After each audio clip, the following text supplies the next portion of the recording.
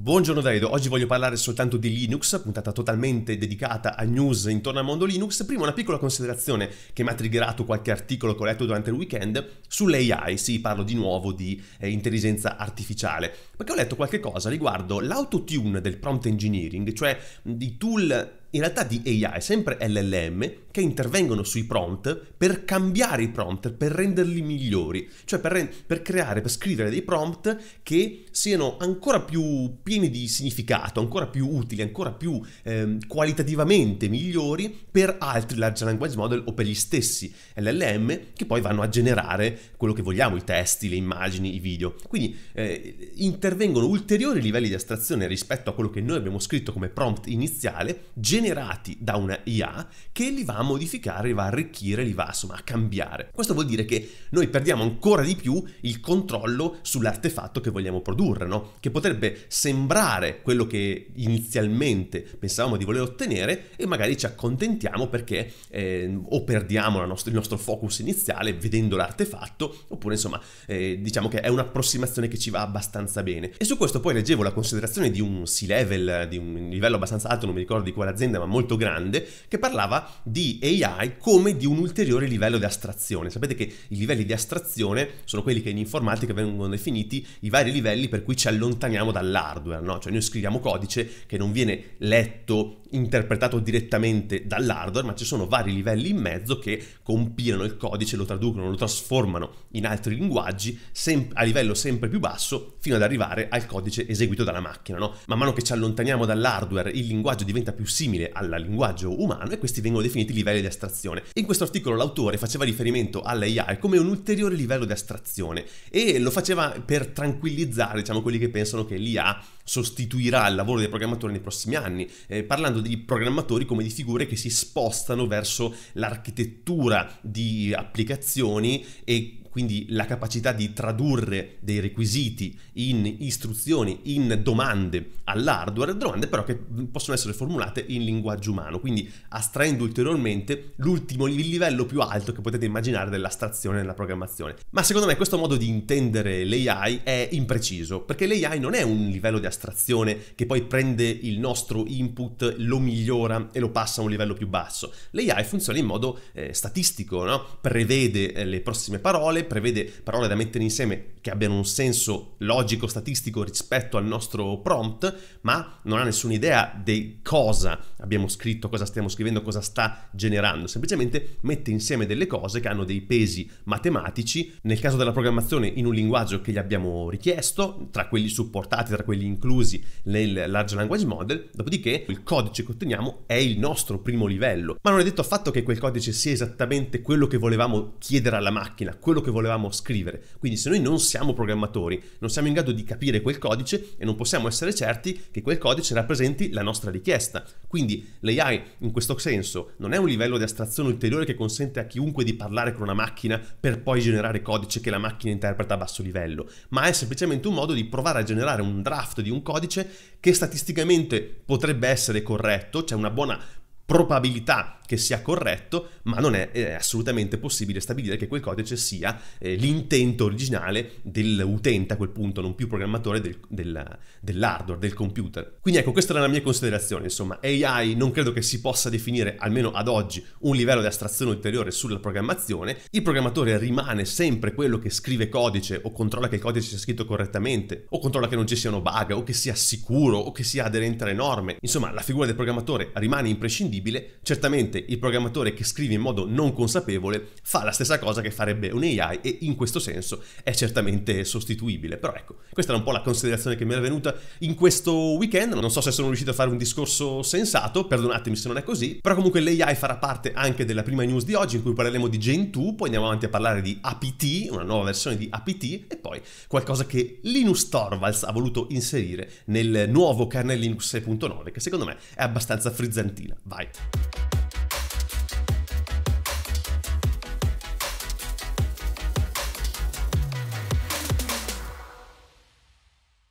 Allora, oggi 22 aprile, lunedì tra l'altro, quindi buon inizio di settimana. Lunedì di solito una puntata che ascoltate in pochissimi, non so perché, da statistica, però vabbè, eh, la faccio lo stesso. Ho eh, raccolto un po' di news sul mondo Linux, un po' di cose che ci tenevo a dire e vorrei partire con Gentoo, perché Gentoo tra l'altro è la distribuzione Linux a cui sono più affezionato, è stata la prima che mi ha fatto entrare nel mondo Linux. Ho due news su Gentoo, la prima è molto piccolina. Gentoo adesso entra nella famiglia, nella organizzazione non profit che si chiama chiama Software in the Public Interest, è un'associazione non profit americana che in pratica consente a vari progetti open source che sono sotto il cappello di questa eh, organizzazione di ricevere donazioni e di essere appunto gestite donazioni in, in modo piuttosto semplice e mh, mm, a chi dona sul territorio americano consente di scaricare questa donazione dalle tasse, che insomma è una cosa eh, piuttosto interessante. No? Quindi adesso Gentoo entrando a far parte di eh, SPI, quindi Software in the Public Interest, associazione tra l'altro di cui fanno già parte altre,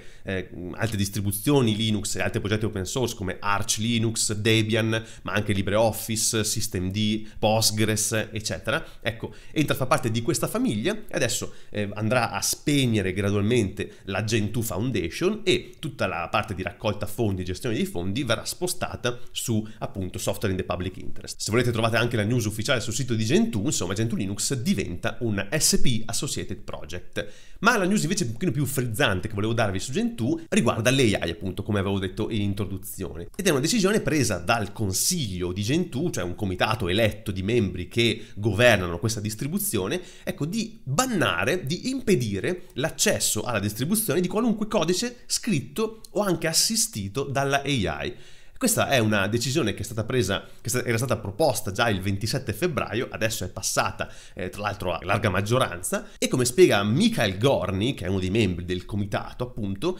eh, dice che questo ban esiste per tre ragioni fondamentali. Uno per proteggersi da potenziali infrazioni del copyright, due per problemi di controllo di qualità. E tre per considerazioni etiche riguardo l'alto consumo energetico che l'AI richiede a livello globale, a livello mondiale, ne abbiamo già parlato anche in passato passato. E dice Gorni, questa è una mossa di PR, cioè di public relation. Eh, molti sono entusiasti riguardo all'AI, dice Gorni, e penso che molti degli utenti di Gentoo apprezzano il nostro approccio old school al software engineering, dove gli umani sono più importanti della cosiddetta produttività. La mia opinione personale, dice Gorni, è che abbiamo appena iniziato con questo topic e adesso che abbiamo messo in atto questo ban, vedremo arrivare nuovi feedback, nuove opinioni dai nostri utenti e quindi potremmo incoraggiare molti membri della community Gentoo a condividere le loro opinioni sull'AI. Naturalmente, poi dice questo articolo che trovo su The Register, fare un enforcing su un ban di questo tipo è particolarmente impegnativo, anzi potrebbe non essere possibile. Come facciamo a distinguere il codice scritto da un essere umano e quello scritto da una macchina, a parte naturalmente i casi eclatanti?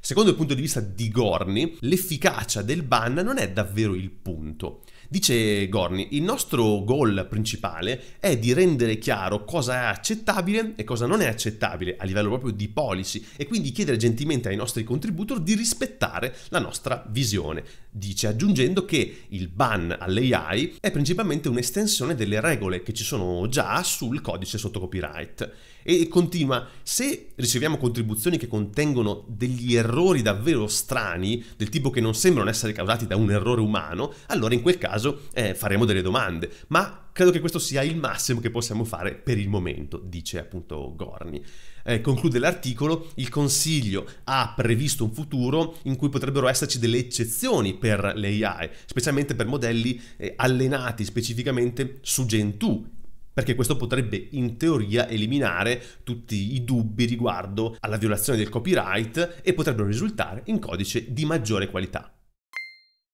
La seconda news che vi do riguarda APT, sapete il tool da linea di comando per aggiornare i pacchetti nelle distribuzioni Debian based, quelle basate su Debian come Ubuntu per esempio, e infatti questa news la trovo su MG Ubuntu e si parla di una nuova versione della UI, se vogliamo chiamarla così, ma insomma è una command line, no? quindi l'interfaccia da riga di comando di APT, che a quanto pare eh, con la versione 3.0 che è prevista per la, la fine di quest'anno, con l'arrivo probabilmente di Ubuntu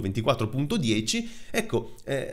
riceverà un restyling grafico anche piuttosto importante e gradito, dice questo articolo. Perché sapete, quando voi lanciate un apt upgrade soprattutto, vedete questo muro di testo dove eh, è tutto bianco, è tutto mischiato, cioè, in realtà non è mischiato, però è abbastanza facile mischiare le cose e perdere magari il focus su qualche informazione importante, come dei pacchetti che potrebbero essere cancellati, oppure degli upgrade che potrebbero essere breaking, potrebbero contenere delle change che poi vi rendono il sistema instabile o addirittura rotto. Ecco invece adesso con la nuova versione di APT eh, verranno utilizzati dei colori per segnalare i pacchetti che vengono aggiunti e quelli che vengono cancellati, quindi in verde i primi e in rosso i secondi. Tra l'altro i cancellati vengono messi alla fine dell'output, rendendo più facile la riconoscerli perché prima venivano messi all'inizio. E quindi eh, se state guardando questa sarà la nuova command line di apt con appunto le cose colorate, ben distanziate, insomma rende più facile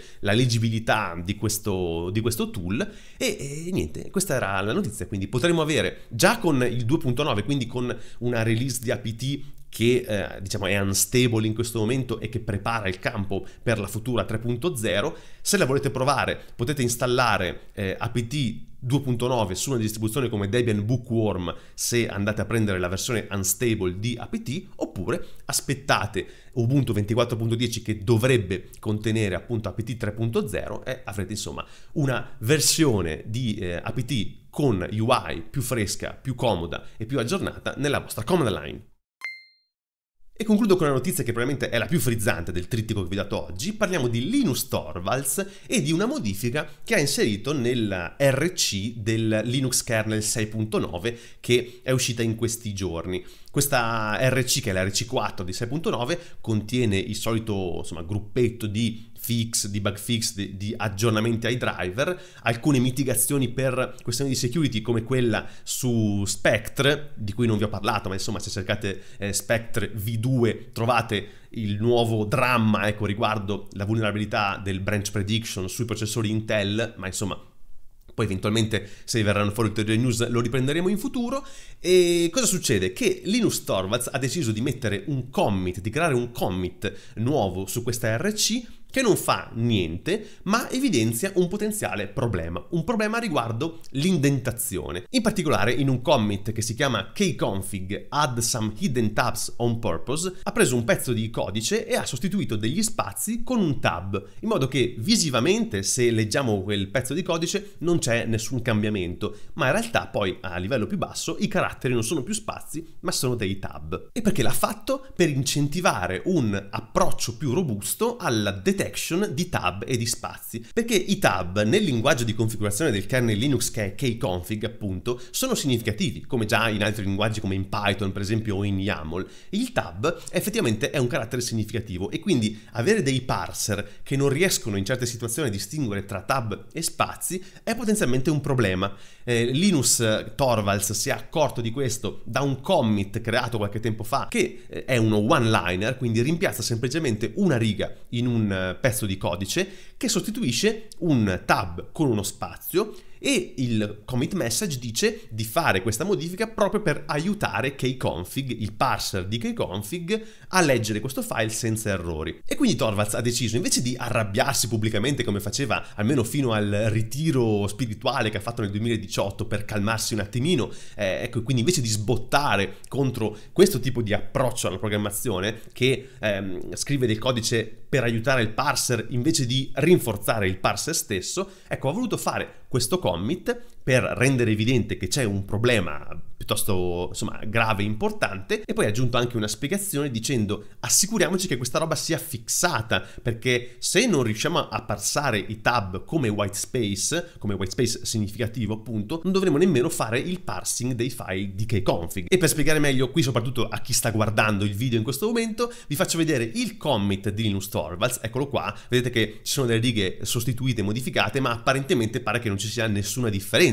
tra queste righe, però in realtà se noi andiamo a eh, io adesso vado a copiare queste righe, le metto qui che è un convertitore di tabs in spazi, incollo il codice qua, gli dico di modificare e di convertire i tab in quattro spazi, se faccio questa, questa conversione vedete che ecco mi ha eh, convertito questo carattere in esattamente quattro spazi, quindi vuol dire che questo carattere qua non è uno spazio ma è un tab, questi sono tab, eh, quindi il tab qua lo convertiamo in quattro spazi e ci viene visivamente più facile renderci conto della differenza. Ed ecco il trucco proprio che ha usato Linus Torvalds per farci capire questo problema. Ecco insomma questa era la news, non è niente di che potreste dire, no? Cioè semplicemente un commit di Linus Torvalds che va a modificare degli spazi in tab, rendendo evidente un problema sul parser di kconfig, però in realtà è un cambiamento secondo me abbastanza significativo, non tanto per il kernel Linux, ma per il, le modalità di interazione tra Linus Torvalds e i contributor al kernel. Cioè, in questo momento lui poteva uscirsene pubblicamente massacrando e anche usando molto sarcasmo contro il contributor che ha scritto quel commit e invece ha voluto usare un approccio diverso, ha voluto scrivere un commit lui stesso rendendo evidente un problema e suggerendo di guardare meglio all'irrobustimento della soluzione. Insomma, ci aspetta una nuova era di un Linus Torvalds molto più pacato e tranquillo e collaborativo con i contributor dei Linux kernel? Non lo so, però intanto questo potrebbe essere un primo passo.